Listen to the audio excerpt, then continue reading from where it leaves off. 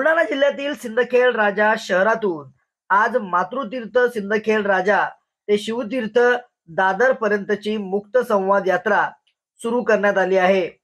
उद्धव बाळासाहेब ठाकरे शिवसेना पक्षाच्या वतीने सुरू करण्यात आलेल्या या मुक्त संवाद यात्रेत सुषमा अंधारेंसह शिवसेनेचे बडे नेते देखील सहभागी झाले होते. या दरम्यान या कार्यक्रमाला माजी खासदार चंद्रकांत खैरे देखील उपस्थित होते. यावेळी पत्रकारांच्या प्रश्नांना उत्तर देताना त्यांनी ईव्हीएम मशीनवर अनेक आक्षेप नोंदवलेत. मोदी जर सत्तेत आले तर संपूर्ण देश कोलॅप्स होईल. संपूर्ण हिटलरशाही माझे असं म्हणत खैरे यांनी ईव्हीएम वर आक्षेप घेतला. यावेळी त्यांनी स्वतःचा अनुभव देखील कथन केला. त्याचबरोबर बॅलेटवर निवडणुका व्हाव्या अशी सर्वसामान्य नागरिकांची इच्छा आहे. मात्र मोदी हे होऊ देणार नाही असंही खैरे म्हणाले मागील काळात किरीट सोमय्या यांनी स्वतः शिवसेना भवनात ईव्हीएम मशीन कसं खोटं आहे ते दाखवले असल्याचा किस्सा देखील चंद्रकांत खैरे यांनी सांगितला. त्यामुळे येणाऱ्या काळात ईव्हीएम मशीनने जर मोदी सत्तेत आले तर संपूर्ण देश कोलॅप्स होईल असं विधान चंद्रकांत खैरे यांनी केलंय. वाऱ्यावर सोडून दिलं त्यांनी नाही नाही नाही झालं शेतकऱ्यांचे प्रश्न मला नाही, सांगतो. सगळं वाऱ्यासारखं त्या ठिकाणी सोडून दिला अहो, कापसाचा भाव मी बोललो ना हा, मला खूप काही बोलायचं होतं पण ते हे कर्जमाफी मागच्या सुद्धा त्या ठिकाणी निवड केलं. लोकसभा निवडणुकीत सुद्धा ईव्हीएम हॅक झाले होते बरंच ठीक आहे तुम्हाला सांगू मी उत्तर प्रदेशचा संपर्क प्रमुख हा नेता आहे. मला आहे. मी जवळपास तेरा अं, तिथले तेरा डिस्ट्रिक्ट असे ही सत्तर टक्के मुस्लिम बहुल्य संख्या आहे त्या मुस्लिम बहुल्य संख्यामध्ये मुसलमान झालं पाहिजे की नाही? तर मुसलमान आलेच नाही. तिथे शर्मा तिथे यादव इकडे असे असे लोक त्या ठिकाणी आले. म्हणजे तुम्ही कशाने कोणत्या पद्धतीने त्या ठिकाणी केले? हे दिल्लीच्या इमामाने सुद्धा सिद्ध केलेलं आहे.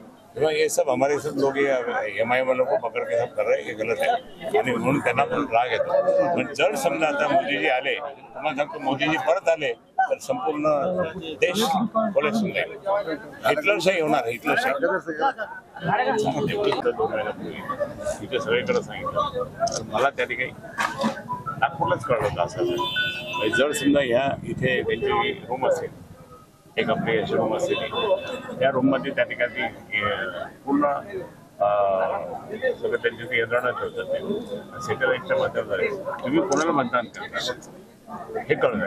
आणि मग ते कसं ट्रान्सफर करायचं पण ते सगळीकडे करत नाही. ते. काय करतात? या भागात करणार त्या भागात करणार. हे सगळं सिद्ध झालेलं आहे.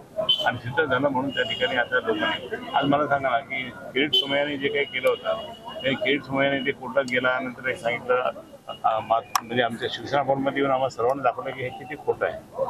हे किती खोटं आहे मशीन. आणि तोच आता म्हणतो की हे चांगलं. म्हणजे मशीन हॅक केल्या जातील मशीन अहो तुम्ही आता तुमचा मोबाईल हॅक करतात. तुमच्या मोबाईलवर तुम्ही जर बोलायला लागले तर दुसरं कोणतं ऐकतं?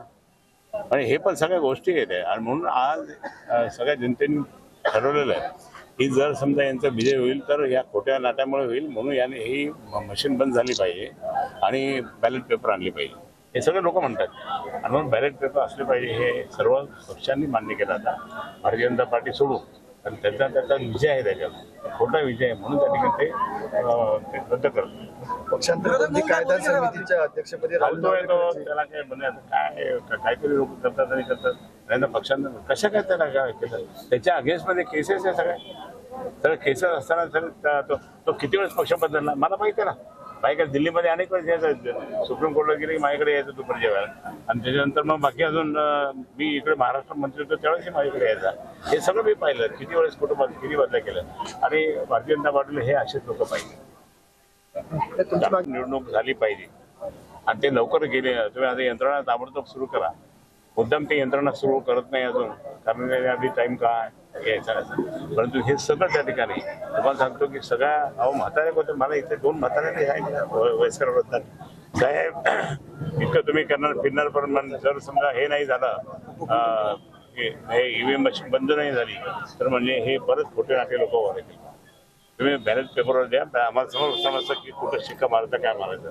आणि हे ना- नागरिक म्हणतात पण हा मोदी हे मोदीजी काही करणार साहेब